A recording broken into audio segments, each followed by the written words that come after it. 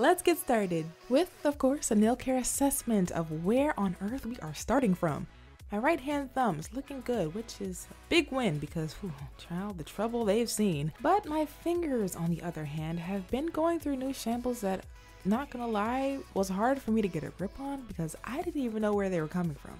For example, this is a little tricky to see, but right now we are looking at the after effects of a shallow blister.